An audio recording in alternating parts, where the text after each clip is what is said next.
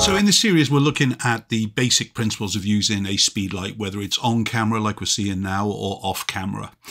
Uh, the speed light is a, a, basically a very, very simple way to actually add some extra flash into a scene or even to give full illumination. Uh, but today specifically, I want to talk about using the kind of the bounce facility and the catch light card specifically. So if we're used to the likes of um, the on-camera flash, um, by default, probably probably when you start off, you're going to be kind of shooting directly at the subject, and you're going to think that this little flash is going to be doing its job the whole time. However, with a little bit of skill, you'll soon learn that by kind of go into a bounce facility using this catchlight card. It gets the name from basically the catchlight that you'll see in somebody's eyes, but it'll also push some of the bounce flash back into the actual group. So in other words, if we're kind of photographing as we are here with direct flash, this is going to illuminate it and obviously it'll go very wide, especially wide if we bring the uh, wide angle diffuser down like we're seeing here.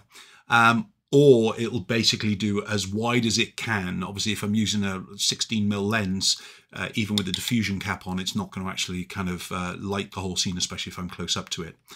But um, also, so when we're photographing groups, people can kind of get into have the habit. I want to show you some examples of kind of uh, when to use the kind of the wide angle diffuser or direct flash, or more specifically, in fact, using the likes of the catch light. To bring my catch light card back out, I just put the wide angle diffuser back in, and then I literally just pull out the two together. Just let it flap down. The wide angle is back on there, but plus we've got this catch light card now. But of course, we can change the angle to bounce. Um, if you're at full vert vertical here, uh, the catchlight is literally just going to put a catchlight in somebody's eyes. If you've got it at the kind of the uh, next angle down, you're basically going to be able to light uh, the principles of a group close up to you, around about four to six people as a maximum.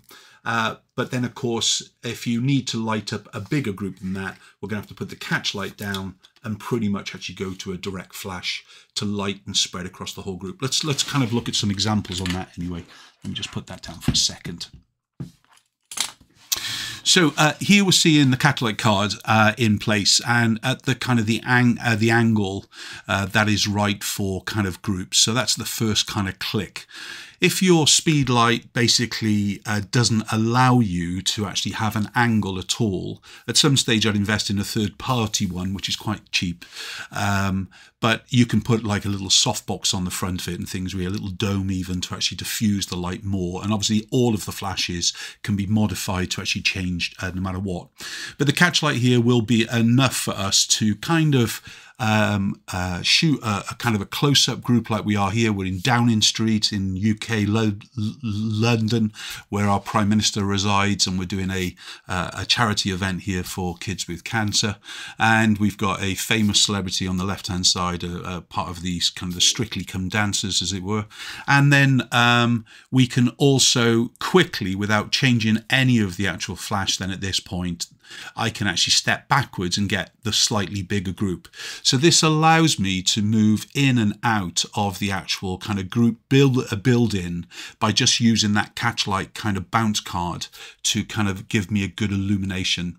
Now, okay, theoretically, because of the angle of the flash at the lower part of the frame, so actually, you know, below the waist, it is going to go slightly darker as such, especially as you're close up to them or if you've got an exaggeration on the actual bounce you're going to get a little bit of vignetting at the bo bottom, but basically you want to look at the faces no matter what. So that little bit of vignetting at the bottom is no big deal in things. So this is kind of two examples of using the, uh, the catchlight card. Another one here to kind of give you an idea of how you can move in and out without any trouble. Now, if I need to light a group at a distance, I need to use more of a direct flash so it can kind of cover the distance. So in a previous film, we've talked about, you know, the zoom facility and so on. And there's a 24 to 105 lens on the camera in the, pic uh, the picture now. And as I've zoomed uh, to the 105, the flash would know that I've zoomed and it would zoom for me and it would just put the flash into the kind of the smaller part of the frame as it were. But uh, as far as when we're kind of um, at a lower position, to the subjects as well. If we use the flash um, and it's directly at them, the shadow is going to kind of go upwards. And, and really, the story of um, the flash is always in the shadow of what you're actually seeing. So if we kind of look in behind uh, here, you can see that there's a pretty much a hard line of shadow behind her. And uh, you might be able to see there's a little one behind her as well. But that that is telling us that pretty much that is a direct flash. You can see I'm on the staircase and I'm photographing upwards. Uh, but this gives me enough spread because I'm on the 24 to 105. So it's not giving me a very, very hard edge shadow as we would know it because I'm not close up to them, but it's illuminating the whole scene um, because I'm in the wide angle element of it. So that's softened a little bit more. And exactly the same thing if I'm shooting outside, in this case, number 10, um, yeah, on the same visit with the girls.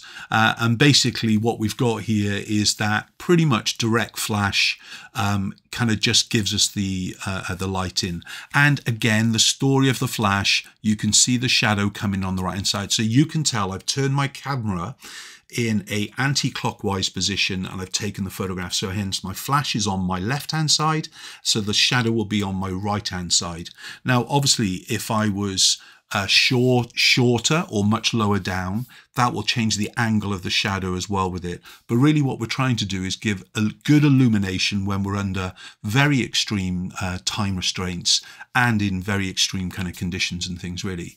So that's an example there. So when we start to think about bouncing the light, um, we start to think about bouncing it off a ceiling. Well, that's great if the ceilings are quite low, like in a normal house, and you might just want flash to just give you some illumination and just fill in the overall kind of um, uh, shadow within the image or give you an overall illumination.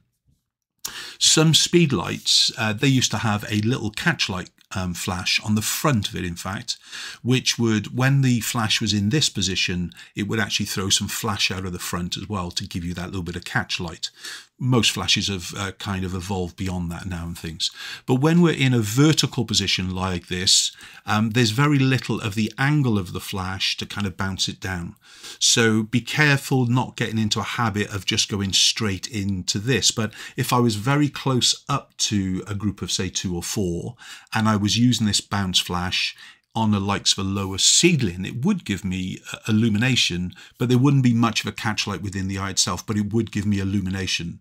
If that kind of group was basically further away, it would give me very beige light, lighting. What do I mean by that? Very kind of bland light. Uh, why? Because the all the light is going up and then it's coming down and it's just kind of flooding the whole scene, but it doesn't give us any real illumination. So that is when even adding um, the catch light card back into the mix will make a difference to the actual quality of the light hitting onto the group.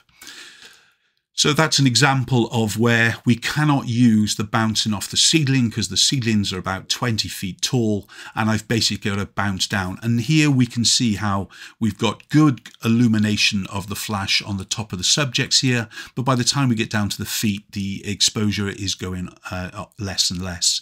And this is just working in TTL here, by, uh, by the way, on the flash, so an automatic flash. Um, you can see now um, even though I'm using the catch light and the camera is turned to the vertical position with my flash on the left hand side, story of the flash again, we can see it because he's illuminated more than the girl at the back on the right hand side.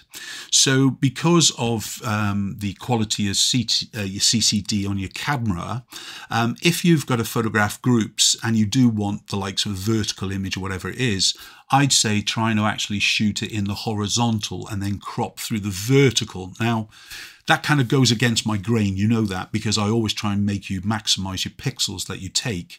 But there are times when we're faced with lighting or illuminating a group and we want something specific, but we've got restrictions. So we've either got to revert to a direct flash, which, which this isn't. This is working with a catch light bounce. So that would actually give us what we can see, more light on him on the left, less light of uh, the girl at the back on the right. Whereas if we had direct flash, it would illuminate the whole of the subject fully, evenly if uh, ish um, throughout the whole group. However, what it would do is give us an increased shadow behind them, especially if we're shooting from a low environment, which would show the the kind of the uh, uh, shadow going bigger and bigger. So that's where we want to actually kind of think about, do we really want to bounce the flash um, in, in some way? And if we are going to bounce the flash, like we just saw, then let's make sure we use the catchlight card to add a little bit more catchlight within them. So when we're back into the catchlight, you can see now I can quickly shoot between the different kind of styles. And if you're thinking about what is a catch light, it's this kind of little white dot within the eye of the subjects. That's really what you're getting. So that's where it gets its name from, the catch light, rather than a bounce card, which is designed to actually put all the flash uh, coming out of the actual speedlight itself more towards the subject where the catch light is just adding some extra illumination but that is my preferred kind of setup to kind of really get successful flash images each time. And you can work from a dark location to a, a more even lit location as such, working outside to in uh, to inside using that simple technique of the actual catch light bounce, as it were. So my settings as a rule, I'm shooting at around about 400 ISO when I'm in inside. I'm shooting realistically on a 60th of a sec second. And for the groups that we just saw, I'll be photographing anywhere between f4 and 5.6. Um, if I'm using direct flash, I'll still keep to a big group would be more like f6, um, but I'd keep to the same kind of uh, shutter speeds and everything else with it. In very, very dark environments, of course, where there's no ambient light or little ambient light in the scene, you're going to have to really ramp up the likes of your ISO to bring any natural light back in or open up your aperture more to the likes of 2.8 or beyond uh, to kind of really see more of the natural light illumination. Um, however, more often than not, in a dark scene, you're either going to have to add a secondary flash to illuminate the scene background whatever it would be, or you're just going to have to take it on the chin. So have a little play around with that catchlight card. Just sit on your sofa, try the little bounce, photograph the fab, uh, the family pet uh, or the kids and just kind of uh, get an understanding of what you can achieve simply and quickly with this quite success, successful little pocket of light for yourself.